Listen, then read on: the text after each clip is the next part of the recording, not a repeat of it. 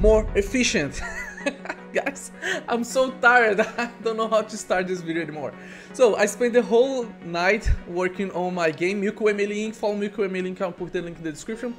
And I want to show you something really interesting because I've been using this pattern for like 5 years already and it just gets better because I make it so that it's now a component that I can reuse across many, many projects. So one of the main things that we do when we are making a game is to dynamically create things based on the game state, right? And we need to put these things inside the game world. So it's not only about creating objects in the backend, making some dynamic stuff, instantiating some stuff in the backend, but also putting these things in the game world, so visible to players, right? And to do that, we need to create the instance, to position it, to add it as a child.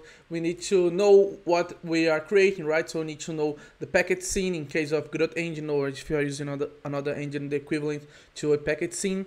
And this process can be very repetitive. And if you scatter this process across many classes, this can become a headache to work with if you need to make some small changes. So let's say that instead of um, just adding a, a, an object, you also need to, for instance, in my case, to inject a quest on it. This can be, become a very tedious job, but using a spawner, you can do that very efficiently.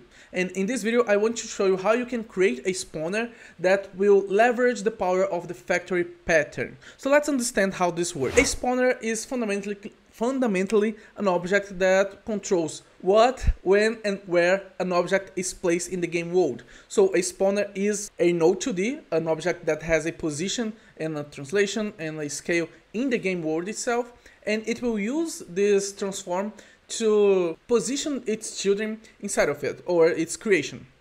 So the, the spawlings, or in the case of the, in terms of the factory pattern, the product. This process can be something very specific like for enemies. So you can create a enemy spawner. For instance, we see this in Minecraft, right? We have all of these skeleton spawners, the spider spawners and stuff like this. But what if I told you that a gun, like a weapon, is nothing but a bullet spawner. If you need to create an object, you just need to use a spawner. Let me show you how I did that in my game. So here I have this, the Milky Way Mailing headquarter, and I have here this asteroid spawner, which is basically a container for a lot of, for like four other objects, and each one of them has a role in the assembling line of the, the specific asteroids that I need for this case, because these asteroids are going to be used for a quest. So I have, guys, this is something that uh, when I talk about, when I told my friend about it, he was like, why did you do that? This, this is so simple to do. You just need to make a new script and like add a for loop, right?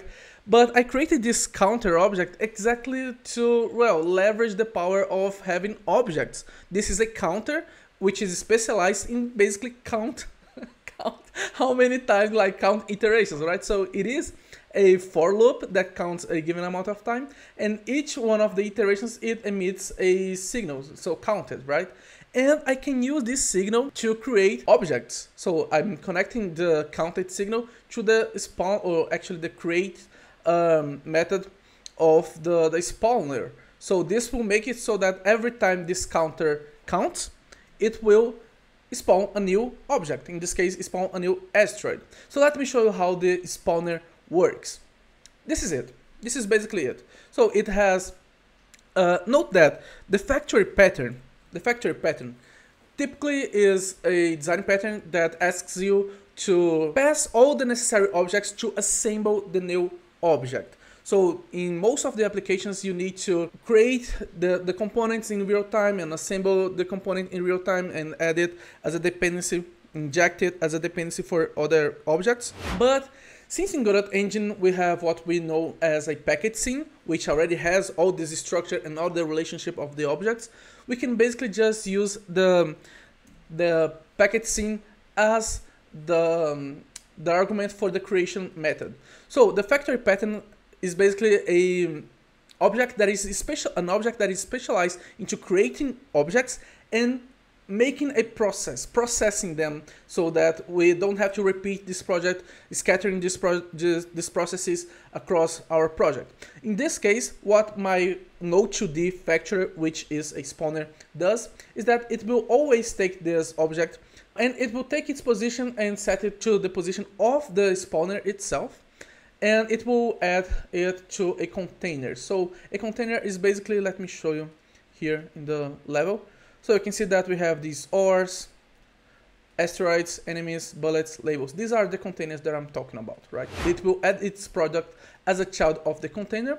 If it doesn't found, if it doesn't, if it didn't find any container, it will add it as um, its own child, right? It will also do some other procedures like setting the product to top level and uh, the z index to the same index as the container. It keeps some transforms, some vis visibility properties of the, the container, but it will be a top level node as well. And then I call deferred because sometimes I get this error, oh, this should be call deferred because you are dealing with some physics process and don't do that in the same frame as the physics process, I don't know. So I use the, the call deferred instead of just directly add it as a child. And after that, it emits a, a signal telling that, hey, this object was created. If anyone is interested in, in this object, please do something with it and it also returns the, the, the product. So the product is the object. So this is these are the terminology that we use when we talk about the factory pattern. The factory is an object that assembles products, right? So this is the terminology that we use when we talk about the factory pattern. The object that it creates is the product, okay? By doing that, guys, this is so, so, so powerful because this allowed me to do uh, this process that I'm showing. So I have a counter object that creates a given amount of products using the, the spawner. And when the spawner creates this object, it will pass through using a signal. So it has this created signal, right?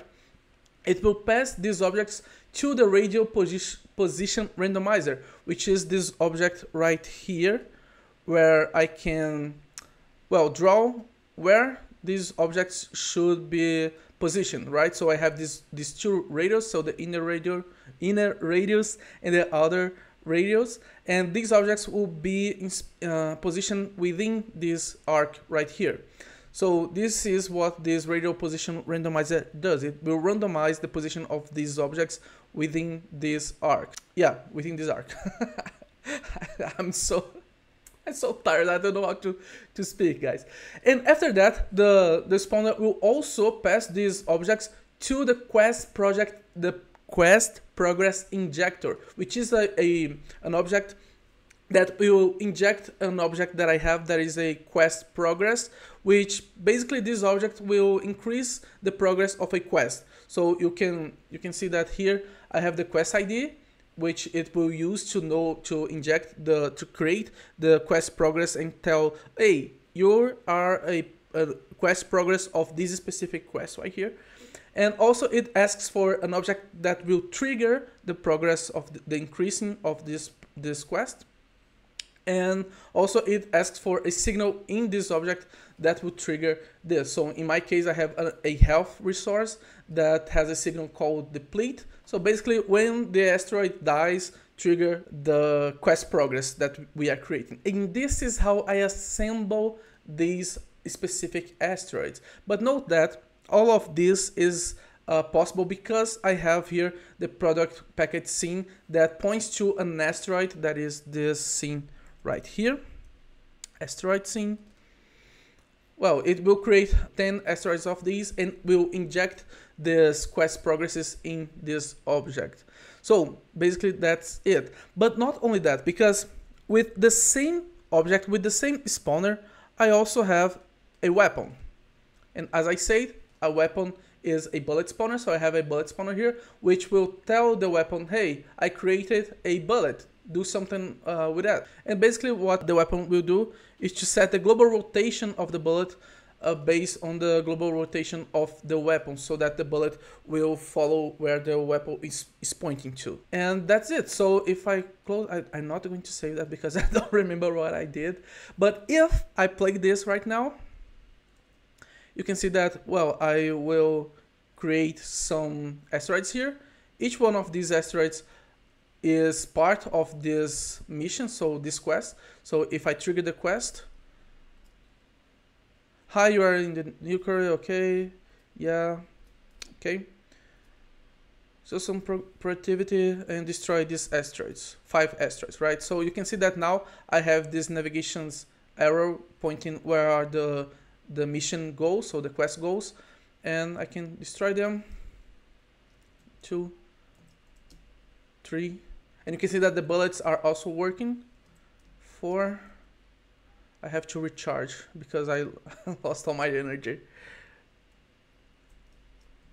Five, yeah, so you can see that everything worked and is dynamically, it happens uh, dynamically, and I, I'm using this same pattern across all of my my objects. So if I open the headquarters, the headquarter, you can see that I also have uh, an enemy radio spawner, which is a spawner that will create enemies around the headquarters so that the player needs to defeat them. And I'm talking about in terms of patterns because I consider the, the spawner pattern, this pattern that I'm just that I just showed you, as a personal pattern that I'm use that I use across all my projects. Ever since I launched my first book, so the top seven growth patterns, growth recipes, uh, I'll put the link to the description for this book as well. It's five bucks, so I highly recommend it.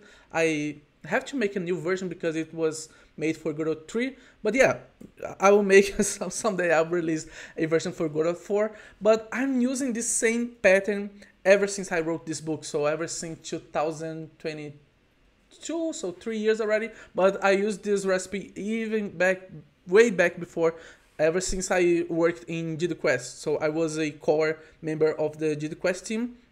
And ever since like 2018, I've been using the same recipe. So this is the power of leveraging design patterns. You can make a component and reuse it infinitely across many projects because it's self-contained and it does one single thing at a time. If you like this video, don't forget to leave a thumbs up and to subscribe as well. And if you need help with your personal issues, I will recommend you to get one of my missions. So I have the mission Star Path, which is my personal consultancy uh, service, which I, am going to help you fix the issues of your specific project. You can leverage, as I said, nine years of growth experience from me. I have launched four books already and have more than 30 successful projects under my belt. So I have already 30 uh, consultancy customers through this same consultancy here, which previously was from PigDev, but now is from Ludonaut, right?